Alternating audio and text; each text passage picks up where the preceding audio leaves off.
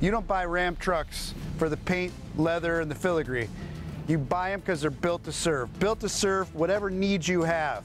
And they're built from the ground up, frame first. And this is the ultimate Ram truck. This is the all-new Ramcharger, and this thing is an absolute beast. Over 660 horsepower, over 600 pound-feet of torque, and 0 to 60 in 4 seconds.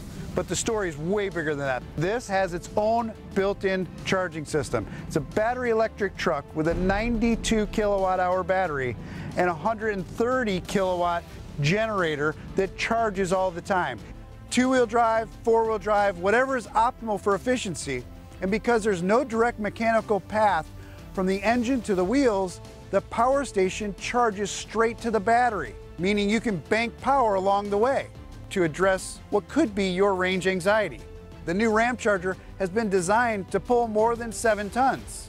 It's been built to pull an entire skeptical demographic into the electric truck segment.